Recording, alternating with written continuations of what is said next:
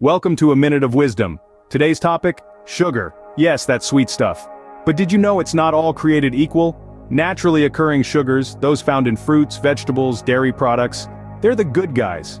They come packed with essential nutrients, fiber, and antioxidants. They're part of a balanced diet and contribute to overall health. But the other side of the coin? Added sugars. Often hiding in processed foods, sugary beverages, and sweets, they provide empty calories devoid of essential nutrients. Too much of these can lead to health issues like obesity, type 2 diabetes, heart disease, and even dental problems. Speaking of dental health, bacteria in the mouth love sugar, producing acids that erode tooth enamel and lead to cavities. Regular and excessive consumption of sugary foods and drinks can contribute to tooth decay and gum disease.